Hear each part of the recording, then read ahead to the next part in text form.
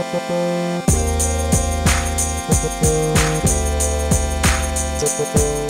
today's episode, we are going to uh, take a quick look at how we can use Alien Skin software to turn this shot um, of a nice looking horse against a pretty much high key background. I shot this against snow, and uh, so anyway, I uh, did it in a way to where I could kind of blow out the background and start with a high key look. And so we're going to work at turning that into this um, with alien skin exposure and then also alien skin snap art. And so to get started, we're going to uh, take this into Photoshop um, to do our edit process here. I prefer to run alien skin uh, products out of Photoshop most of the time because it gives you the ability to do some advanced things like masking and uh, things like that.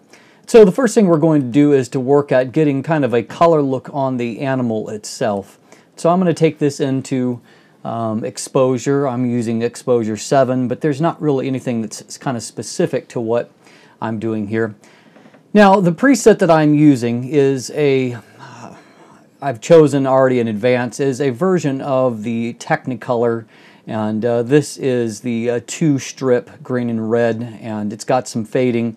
I've obviously done some modification to it here and I've taken down the intensity a bit but it's more about getting a color that I like in the actual uh, texture of the hair and the fur on the horse. Obviously our background is still you know very plain and so this is more about that. I'm adding just a bit of grain um, to give a, a look to it overall and we're going to add some other layers as we go, but this will give you an idea of the kind of the modifications. I'm not adding any vignetting at this stage. I'm not adding any split toning.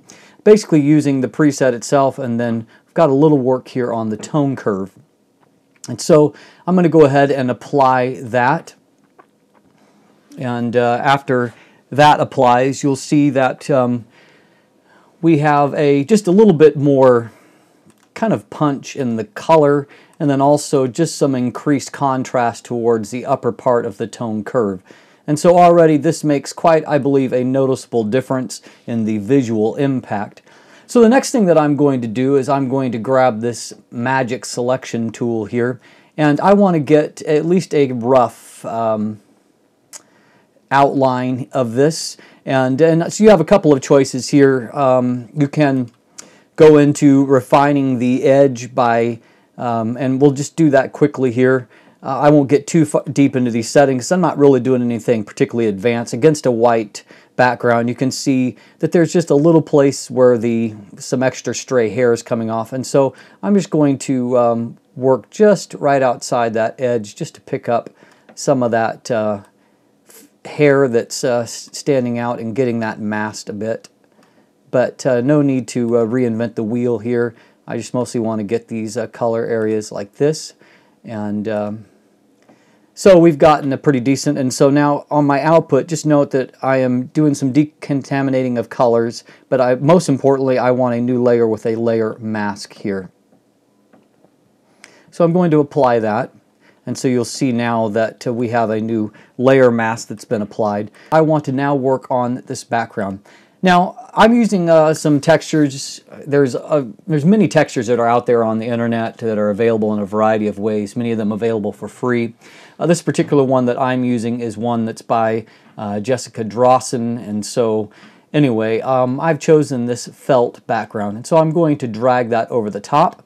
Now, you're going to see initially that uh, it's covering everything, which is fine, but now that we have this already here, um, let's see, we'll, we'll select it again. We're going to, um, going to add that mask to the selection again. And then going back up to this texture layer, we're going to um, just click the masking button. And so we have a quick mask here, and you'll see it's, it's not perfect for our purposes, and so um, we can do a little bit more work to blend that in. Um, but uh, for our purposes here, this is, this is good enough. I'm going to just back off that um, just a just a little bit because I want to mostly use this now as we go into um, SnapArt to, uh, to create that. And so what I'm going to do here is I want to combine all of what we've done into a new layer. And we're going to do Shift Control Alt E And that will just basically create a new layer that uh, has everything that we've done so far in one layer. And so you need to do that just because you need something, because we've been doing some masking, something flat here, and so that we can take that into Alien Skin. And we're going to launch SnapArt 4 now. And uh, there's nothing here that won't necessarily work with an older version of SnapArt, but this is just the one that uh, I actually have right now. Now, I have a, a, variety of presets. There's some that are already uh, built into this, and, and so we have a variety of choices. Um, I have one that's a modification of an oil paint, um, and so let me just see if we can pull up some information about it. And so it's from the effects tour, but it's an oil paint based, and, and I've named it Autumn Abstract, uh, mostly because it's got some nice warming that I, I think is going to look nice here.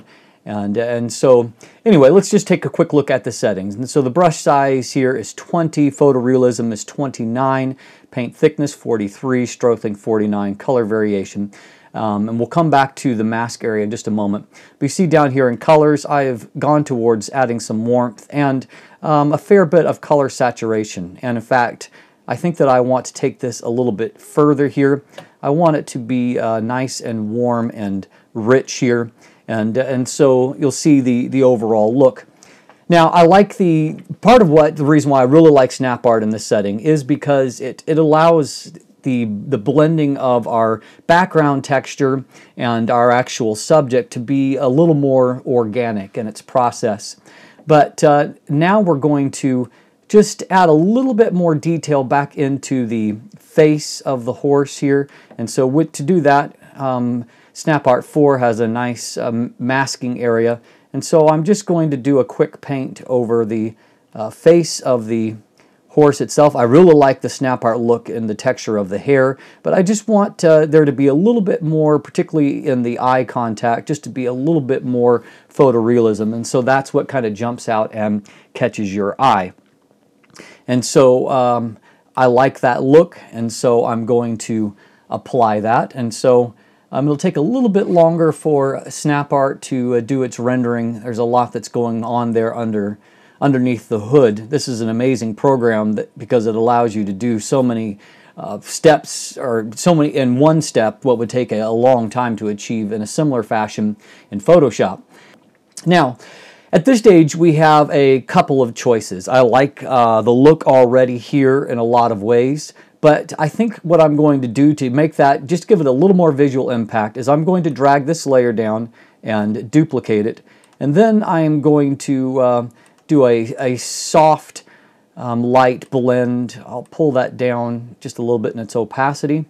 But, uh, and so it's fairly low, but as you'll see, it just it's giving that just a little bit more contrast and visual punch here. And uh, there's already some natural vignetting from our uh, from the texture that we added, but I want to just show you one more thing that can add something to this. And it's now we could take that back into Lightroom, for example, and add vignetting there. Uh, I just want to show you something that, that's uh, kind of neat here. We just throw an empty layer on top of that. And, and why I think this is, is kind of cool is that we're going to create a vignette that kind of uses some coloration from our actual image. And so um, I'm going to choose kind of a dark spot of the coat and so we've got this color here. And then what I'm going to do is I'm just going to draw a circle with the, the circle tool here. And, uh, and so I'm going to kind of place that where I want it. And so and then what's important here is I'm going to select inverse. And then we're going to grab that color that we've selected and the paint bucket and we're going to dump in. You say, oh, well, that looks terrible and it does. But uh, I've learned that the Gaussian blur filter can be used in so many really, really cool ways. So first we're going to deselect this.